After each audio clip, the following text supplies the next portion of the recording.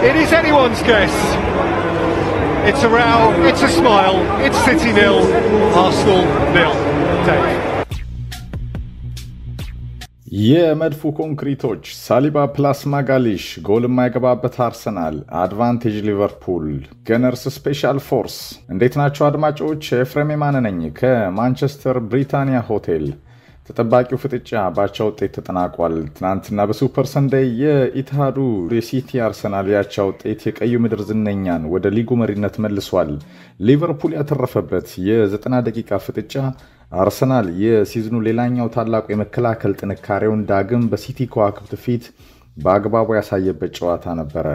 ኤርሊን ሃላንድ በዜሮ shot on target ለመጀመሪያ ጊዜ የፕሪምየር ሊጉ ጨዋታን ለመጨረሱ ምክንያቶች ናቸው። ሳሊባ plus ማጋሊሽ።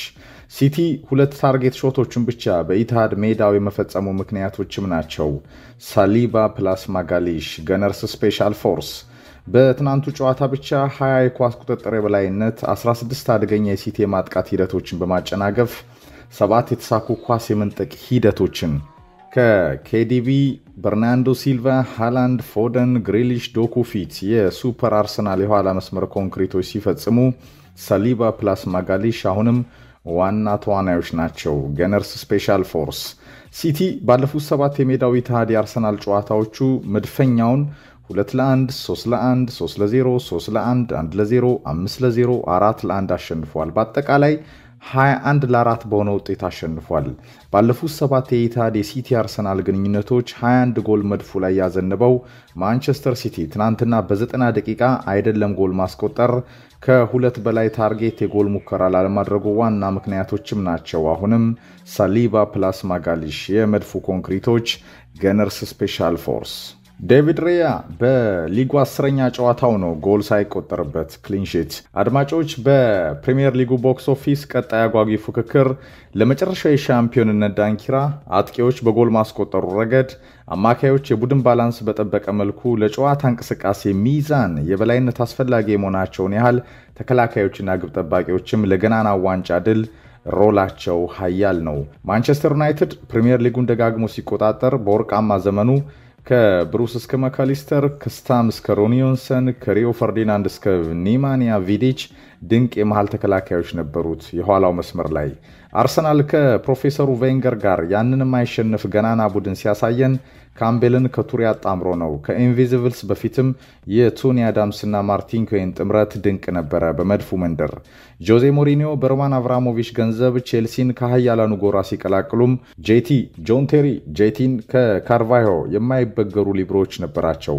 ሲቲ የ50 ዓመት እርግማናቸውን ከሼክ መንሱር ቤንዛይድ ከፈሰሰ ቢሊየን ፓውንዶች ጋር ቀርፎ በ10 ዓመት ውስጥ ከዓለማችን ታላላቅ ቡድኖች ተርታ አንዱ ሲሆን ማንቸስተር ሲቲ ከኮምፓኒ እስከ ሩበን ዲያዝ፣ አካንጄ፣ አኬ፣ ላፖርት ድንቅ ተከላካዮችን አሳይቶናል። በኋላ መስመሩ ሊቨርፑልም ከጀነራሉ ክሎፕ አብዮት ጋር የቀዩ ምድር 30 ዓመት የዘለቀ እርግማንን ሲቀርፍ ቫንዳይክን ከማቲፕ ጃኦ ጎሜዝ አጣምሮ ነው። አሁንም ለዳግም ክብር ሩጫው 75 ሚሊዮን ዩሮ ያወጡበት ቫንዳይክን ከኩናቴ አቀናይተው ለመጨረሻው last dance እየተጉ ይገኛሉ። የርገን ክሎፕ አርሰናልና super ማይክ አርቴታ አሳትሉም አድማጮች የሳን ሰባስቲያኑ master tactician በ process ለጎለበተ ቡድኑ በመጨረሻ ትልልቅ ዋንጫዎችን ለማሸነፍ እንደ ዊሊያም ሳሊባ፣ ጋብርኤል ማጋሊሽ አይነት በጽናት የጀገኑ የመድፉ ግንቦችን ፈጥሯል። በርህን ለጠላትህ በርግደህ አሸናፊ ቡድን በዘመናዊ እግር ኳስ ዓለም አትገነባም። እንደኔ እምነት በተጠና የጨዋታ ዕቅድ ከህልምህ ለመድረስ በሁሉም ጨዋታዎች ላይ ጎሎችን እያዘነብክ ትልልቅ ዋንጫዎችን ለማሸነፍም እንደሚጫወት ቡድን ልትንቀሳቀስ ፈጽሞ አትችልም። ጋርዲዮላ አምና እንደ ህልም ከባርሴሎና ማግስት የራቀው የአውሮፓ ቻምፒየንስ ሊግ ዋንጫን ከአታቱርክ and finally እንደሚባለው ለማንቸስተር ሲቲ ያመጣበት ዋናው ምክንያት አጥቅቶ ከኢንተር ሚላን ተፋልሞ አልነበረም። ዘጠና ደቂቃ deep በጥንቃቄ ከላቀ የ game management ብቃት ጋር በፍጻሜው አስጨናቂ ጨዋታ የተሻለ የነበረው የኢንዛጊ ኢንተርን ገትሮ ውሎ ነው እንጂ እና ለእኔ እንደሚገባኝ አድማጮች ከ modern football principle አንጻር የማይክ አርቴታ የኢትሃድ የጨዋታ የሰመረ እቅድ ከ Super Sunday ባለፉት ሰባት የአርሰናል ጨዋታው 21 ጎል ያዘነበው የሲቲ የማጥቃት ጦርን አርሰናልና ድንቅ ተከላካዮቹ በተለይ ከታታሪ ቡድኑና ከላቀ game ማኔጅመንቱና ካራክተሩ ጋር ፉርሽ አድርጓል። ትናንትና ከ Citizens የኢትሃዱ ቢሊየነር ዓለም የተጠናም የሆነ የሚደነቅም ነው። በተለይ ከጨዋታ ስትራቴጂ አንጻር የመድፉ ከዋክብቶች የፈጸሙት የአቻ ገድል ለአርሰናል የነገው የሻምፒዮንነት ፉክክር ታላቅ ዋጋ ያለው አንድ ነጥብ ነው ከኢትሃድ የተሳካው። የ away match ስኬት መሪዎቹ ደግሞ የ French Brazilian connection ዊሊያም ሳሊባ plus ጋብርኤል ማጋሊሽ የጨዋታው top of the match ነበረ። በተለይ ሳሊባ ንቃት፣ ዝግጁነት፣ የላቀ match fitness፣ ህብረት፣ የጨዋታ አደገኛ የተጋጣሚ ሂደቶችን ቀድሞ የመናበብ quality፣ በኳስ በምቾት መንቀሳቀስ ከቤን ዋይት ከዴክላን ራይስ፣ ጆርጊኒዮ፣ ኦዴጋርድ ከመሳሰሉ ታታሪ ተደናቂ መድፈኞች ጋር የኋላውን መስመር የማገዝ work rate ጋርም የመድፉ ኮንክሪቶች ሳሊባ እና ማጋሊሽ ከ North London Forever የማይደፈሩ አጥሮች ሆነዋል። ለእኔ በተለይ ሳሊባ ጦረኛው ሰርባዊ ቀያይ ሰይጣን ኔማንያ ቪዲች ቪዳን ያስታውሰኛል። ይሄ ኮከብ ወጣት ተጫዋች ከመድፉ መንደር አይፈራም፣ በጣም ጠንቃቃ ነው።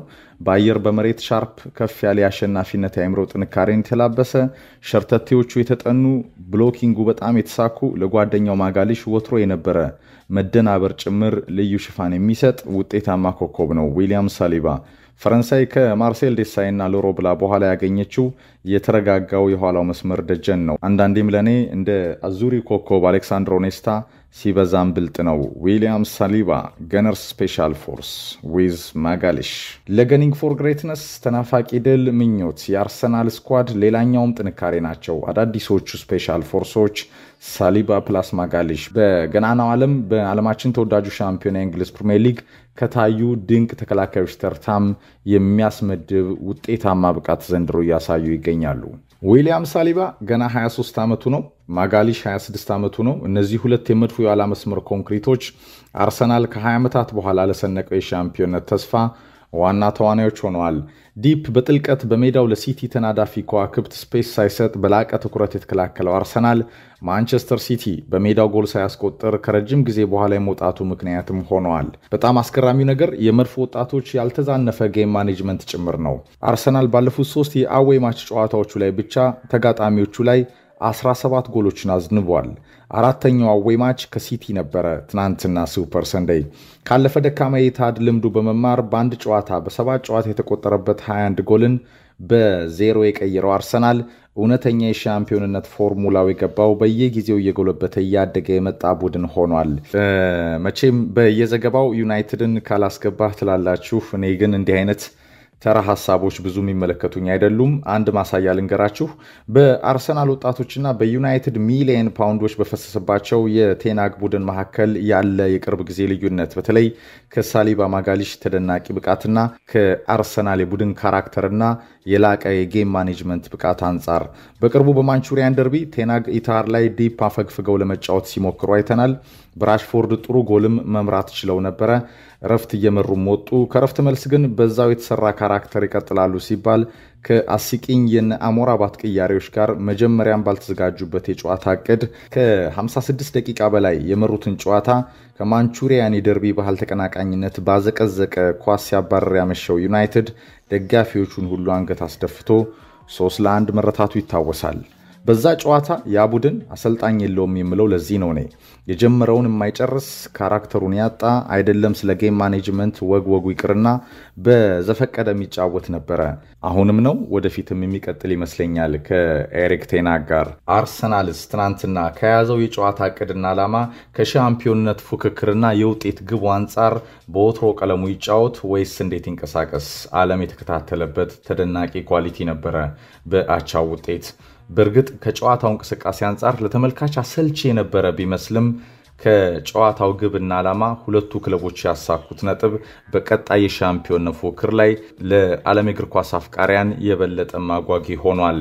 ራሱ ማንቸስተር ሲቲ በአንፊልድ በቅርቡ ትንፋሽ የሚያሳጣ pressing ሲርበደበድ አንድ ነጥብ ለማሳካት ጋርዲዮላ በምን አይነት መልክ እንደተጫወተ የታዘብንበት የአንፊልድ ጨዋታ ሌላውን ማሳያ ይመስለኛል። that said super ማይክ አርቴታ ይህ ድንቅ ወጣት ስፔናዊ አሰልጣኝ ሁሌም ለመማር ዝግጁ የሆነ በመድፉ ዲኤንኤ የጎለበተ ለአርሰናልም በአራት ዓመት የመድፉ ዲኤንኤን የመለሰ ኮከብ ትናንትናም ሲቲን በደርሶ መልስ በሊጉ ማግኘት ከሚገባው ስድስት ነጥብ አራት የነጠቀበት የላቀ quality ውን ኳስ ለመጫወትም ሆነ እንደየተጋጣሚው ባህሪው ከጨዋታው ዓላማ ጋር በጥብቅ ለመከላከልም ሆነ ጎሎችን ለማስቆጠር versatile የሆነ squad ን ለዓለም አሳይቷል።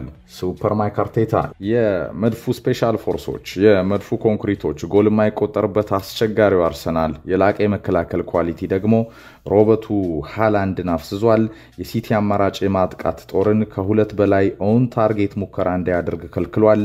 አቻው ለሊቨርፑልም ትርፍ ሆኖ ተጠናቋል። ትናንትና ከኢትሃድ ክሎፕና ቡድናቸውንም ከሊጉ አናት አስቀምጧል። በቀሪ ዘጠኝ የሊጉ መርሃ ግብሮች ሶስቱ ዝሆኖች ሊቨርፑል፣ አርሰናልና ሲቲ በማይገመተው ሊግ የሚያሳዩትን ፉክክር የበለጠ አጓጊ ሆኗል። ሮብ ምሽት 3 ሰዓት ተኩል ከነገ በስቲያ ማለት ነው አርሰናል በኤምሬትስ ከሉተን ይጫወታል። አድማጮች ትሪቡን በመድፉ መንደር ይታደማል። አርሰናል ከሉተን ያለውን ጨዋታ ከ North London Forever እንደዚሁ በቀጥታ ወደ እናንተ የምናደርስላችሁ ይሆናል። ሲቲ አራት ሰዓት ከ45 ላይ ሮብ በኢታድ ቪላን ያስተናግዳል። በጣም ጠንካራ ጨዋታ ነው። ሐሙስ ሊቨርፑል የሊጉ መሪ በአንፊልድ ከሼፊልድ ይጫወታል። የ title race ኡ battle ም በሶስቱ ዝሆኖች እያንዳንዷ ቀሪ ጨዋታዎች የሚወሰኑም ይሆናሉ። Gunners special force፣ ሳሊባ plus ማጋሊሽ፣ የመድፉ ኮንክሪቶች፣ ጎል የማይገባበት አርሰናል አስረኛው clean sheet ላይ ደርሷል። የፕሪምየር ሊግ ዋንጫስ ዘንድሮ ወዴት ያቀናል? ሊቨርፑል፣ አርሰናል ወይስ ሲቲ? ሀሳብ አስተያየት አድርሱን። የተከበራችሁ አድማጮቻችን፣ ኤፍሬም የማነ ነኝ ከማንቹሪያን መናኸሪያ ማንቸስተር ከተማ ዩናይትድ ኪንግደም